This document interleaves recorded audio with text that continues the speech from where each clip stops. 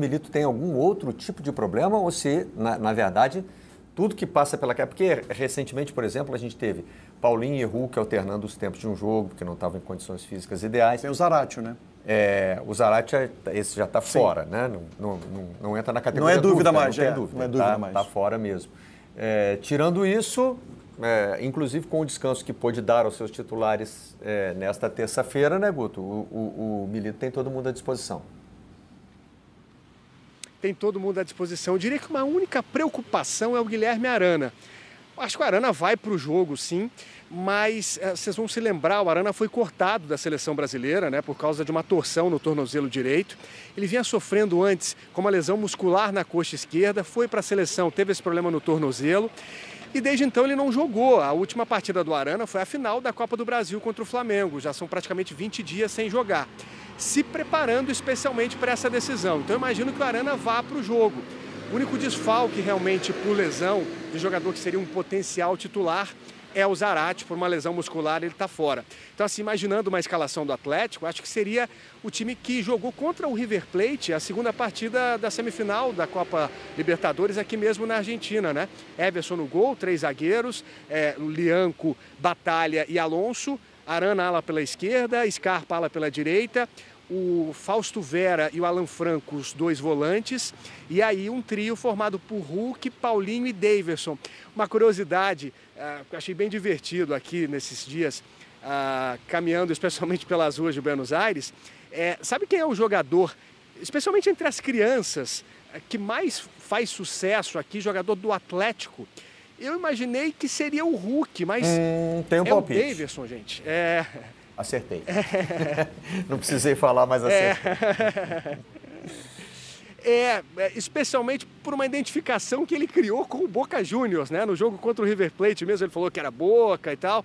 E aí me chamou muita atenção que várias crianças viam a gente é... e quando é, via que éramos jornalistas brasileiros, é, fazia para a câmera o gesto do Davidson no jogo contra o River Plate, quando teve uma falta para o Atlético, ele fingiu que ia bater, acabou colocando a mão na canela e puxava para trás, puxando a perna. Os argentinos adoram isso, estão fazendo isso a beça aqui, especialmente as crianças. O Davidson está fazendo sucesso entre eles. Acho que o Atlético vai ser esse time. Hoje tem um treino previsto às 5 da tarde é, no CT do Defensa e Justiça, time também da primeira divisão aqui do Campeonato Argentino. Essa atividade vai ser completamente fechada. Amanhã tem um outro treino pela manhã ah, no Defensa e Justiça mas acho que o Atlético não vai fugir muito desse time que eu falei, Barreto. É, mas com uma postura mais cautelosa, com um time mais preocupado, talvez, em primeiro neutralizar o Botafogo e depois em atacar. Valeu, Guto. Muito obrigado a você pela participação aqui no Redação Sport TV. É, é, o Guto me fez lembrar de uma coisa, estava até é, acompanhando no GE. Globo. É, nessa, é, nessa semana pré-Libertadores surgem sempre as histórias de torcedores, né? aqueles que se mobilizam, os que já vivem lá no país onde a final está sendo disputada, tem várias coisas, e entre elas um menino que foi é, visitar lá o, o, o, hotel do Atlético querendo falar com o Davidson e tal. E aí me lembrei é, de uma observação ontem do professor Felipe Nunes, que fez uma, uma, uma apresentação aqui para a gente, pessoal do esporte, de, um, de, uma, de uma pesquisa, é, pesquisa sobre pesquisa é bem, bem ampla, não é uma pesquisa sobre futebol, sobre é, gostos, preferências, características é, da população brasileira. Né? Difícil de, de, de, resumir o que pensam 200 milhões de pessoas, mas enfim, tem ali alguns, alguns indícios. Né? É, e ele faz uma observação é, ligada ao mundo do esporte, citando o Davidson. E, é, é, ele é torcedor do Atlético. Ele diz o, aquela, aquela é, aquela encenação que os jogadores fazem dentro de campo, está né, tá sendo vista pelo país inteiro. Então ali tem, por menos que o jogador queira, tem uma característica ali que é educacional. Né? O exemplo para as crianças, essa coisa que pode parecer brega, repetitiva, é verdade. Né? Então, acho que foi ontem mesmo que a gente estava discutindo aqui sobre né, a ética do jogador, que no Brasil, culturalmente, ela foi baseada na necessidade de ganhar o jogo. Então, né, é, vale tudo ou quase tudo. Né? Não, e Ultrapassam-se livremente mas... fronteiras aí com o objetivo de ganhar Eu o só não entendi uma coisa assim, mas uh, o que o David faz dentro de campo, é isso? David é... Mas aí É, pelo lado, pelo lado negativo? Pelo lado da dissimulação, sim, da sim, provocação sim. de adversário Sim. e tal. É, mas é que tá é que a engraçado. gente fica fazendo é aqui, às vezes parece que é o papel do chato. Quando é um cara engraçado, como é o Davis, ah, você também, o cara É. não pode nem se expressar, não sei o quê. Mas é que parte dessa, é, dessa, dessa característica pessoal do Davidson está voltada a, a- a, de certa maneira, é, é, burlar a regra do jogo. Engraçado que no último jogo que eu acompanhei do Galo, é, eu não lembro agora que jogo foi, é, nem lembro agora qual foi o árbitro. A sensação que eu tive que não estão dando mais Ele caiu em descrédito. isso, Ninguém acredita mais. né? isso, sabe? Já tem um, vai, Davis, vai, embora. Entendeu? É. Levanta, vamos jogar, para com isso, deixa de ser bobo e tal. E eu, eu percebi isso. Qual foi o jogo? Vou- Vou tentar lembrar. Vou tentar lembrar qual foi o jogo agora, esse último jogo do Galo que eu vi. E eu percebi esse tipo de, de comportamento dele. Não foi contra a juventude, não. Foi contra a juventude, não. Eu percebi esse tipo de comportamento É, do o- árbitro. O Davidson certamente não se tornou ídolo das crianças porque engana os árbitros. Não, claro que não. Ou é, provoca é, os adversários. exatamente. Né? É porque ele é engraçado, ele é carismático e ele joga a bola. Sim. Né? Ele faz Mas- gol. Mas eu acho que é onde ia chegar. É, é uma discussão interessante, porque aquela velha história, né? Ah, é dentro das quatro linhas e tal, o código do jogador, para tem essa velha discussão, o código do jogador é o código da sociedade?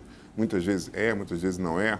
Mas, por exemplo, quando o Davidson faz essa isso que ele, né, que ele ameaça o chute, aí tal, aí ele pega, Segura né, a perna. segura a perna e tal.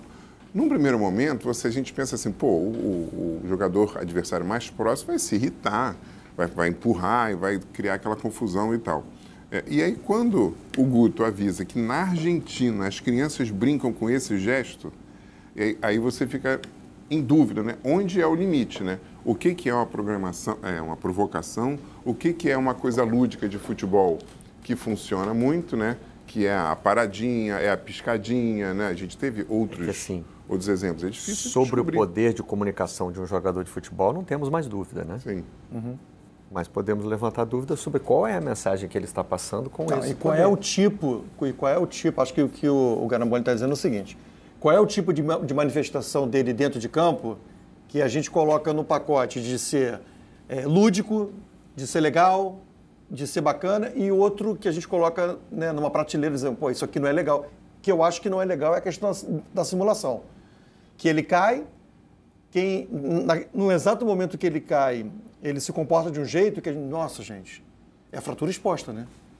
É fratura exposta. Aí o árbitro marca a falta e aplica um cartão amarelo no adversário. E ele levanta como se fosse só um peteleco que ele tivesse recebido. Isso ele, eu não acho ele legal. e vários outros, né? Sim, é uma- ele e vários outros. Mas isso aí eu não acho legal. Agora, a irreverência, aquela coisa de olhar para o lado, né? Ronaldinho Gaúcho, né? Passa o Ronaldinho Gaúcho, olha para um lado e toca a bola aqui, entendeu? Isso aí eu acho que Mas a parte. simulação dele acabou, lembra quando ele simula que foi? Eu acho que ele viu depois que era o árbitro, né? É, que ele tromba com o árbitro e, e- e rola no chão como se tivesse É, levado decisão uma da Libertadores. Pois é. Decisão da Libertadores. É, é. E Flamengo e aquilo- Palmeiras. Aquilo virou um meme mundial, né? Aquilo girou o mundo. É, então, assim, aquilo é o lúdico, é uma provocação, é uma simulação. É difícil, às vezes, a gente cravar o que, que é, né? Coisas que muitas vezes a gente pode passar aqui um programa inteiro reclamando, de repente viraliza com um outro sentido. É difícil. É porque o que viraliza é diferente do que a notícia, né? né? E o jornalismo faz o papel do chato nessa hora. Sim. Né? O jornalismo e, por extensão, o jornalista. Outro dia a gente estava falando sobre eh, os gritos de torcida que viralizaram em São Cristóvão no amistoso contra o time da Rússia, a seleção da Rússia. Né? Eh, viraliza porque é engraçado, né? eu ri de alguns. É, outros achei mais ou menos, mas enfim, também não sou sommelier de grito de torcida, sou Augusto. É, e aí todo mundo compartilhou e tal. Mas numa reportagem sobre a Rússia no Brasil, é, a gente teria que partir do questionamento de o que, que a Rússia está fazendo no Brasil. Né? Se é um, um país esportivamente banido. né? Ah, porque é só amistoso. Tá? Claro, tudo poderia ter uma resposta, mas a gente teria que começar por aí, e não necessariamente pelos gritos engraçados da torcida. Não, e O outras. Doutor, eu não me engano, esse juiz é ucraniano. e- É. E, e por aí vai. E Putin, a dolaria, né, para rebaixar É. a golaria. Mas, ao mesmo tempo, por exemplo, teve um que todo mundo riu a beça, que, se for pensar, pensar bem, é uma grande maldade. Uma grande maldade que foi condenada é, é, na época da Copa da Rússia que, por torcedores brasileiros né, que, que é, é encontraram uma mulher é, russa e ficaram ensinando palavrões e ela não sabia, uhum, né? Uhum. Então virou uma coisa super assim grosseira. E a gente achou engraçado porque eles cantam o nome do um dos principais jogadores da Rússia e depois xingam, né? E o cara não sabe nada. E aí o cara agradece que está sendo xingado. Então assim também é, é, uma é uma vilania, uma covardia linguística, né? Que a gente ri, viraliza, mas se você pensar profundamente é uma maldade, né? Ninguém ia gostar de que se encontrar com é, dois suíços e o suíço ficar te xingando e você, ah, que legal, está conversando comigo, né? Não, está te xingando.